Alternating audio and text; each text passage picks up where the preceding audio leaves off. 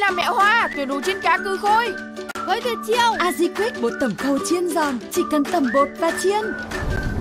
Rút ngắn thời gian tẩm ướp. Và hạn chế văng dầu mà vẫn giữ vị ngọt tự nhiên của cá. Yeah Còn độ giòn ngon thì sao?